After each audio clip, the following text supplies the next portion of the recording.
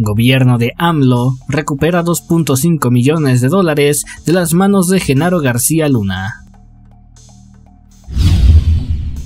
Este jueves 5 de octubre se presentó por la Secretaría de Hacienda y Crédito Público que el gobierno de Andrés Manuel López Obrador pudo recuperar 2.5 millones de dólares de activos de empresas del exsecretario de Seguridad Pública, debido a que la jueza Lisa Walsh dio la razón a México en una demanda entablada en los Estados Unidos, reclamando los bienes que dicho criminal dejó en el país vecino para evitar a la justicia en nuestro territorio. Por ello, al fallar a favor de México, se ordenó la entrega de bienes de la empresa Delta Integrator, con la que García Luna y su esposa defraudaron al gobierno.